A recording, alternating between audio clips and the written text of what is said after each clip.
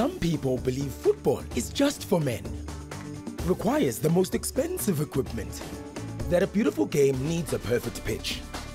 At Coca-Cola, we believe the World Cup is for all of us. Refreshing us. From the lucky ones that feel the happiness of seeing it live, to the fans who cheer with hope for countries they've never been to.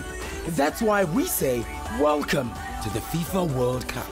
Welcome to the World's Cup.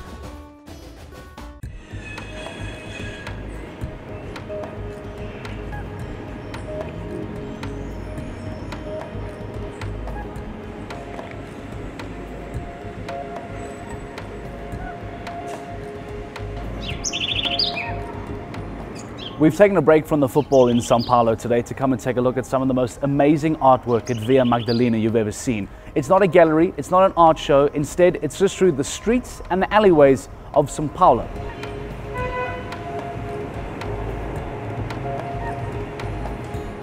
You'll notice that a lot of the people here will be signing their artwork off Familia Beku, family of the alleys. This gives them an opportunity to express themselves.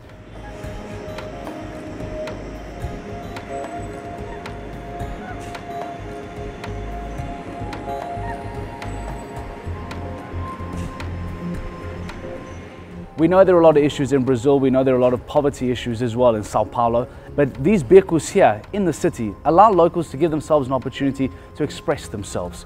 Tourists are given the opportunity to come and walk through these becos, walk through these alleys to come check it out. It is one of the most visited spots in the city, making you realize that this city is not just run by football and not just run by artwork either, but perhaps by the inner culture of what really runs through Sao Paulo. Marc Lewis, Eyewitness News, Sao Paulo, Brazil.